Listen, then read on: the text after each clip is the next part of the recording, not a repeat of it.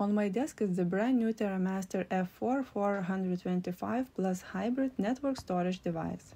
We connect the power and network cables, then turn it on. But how to configure it?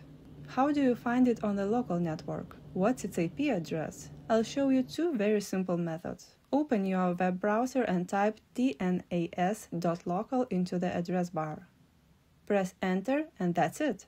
You can now configure your new TerraMaster device. Second method.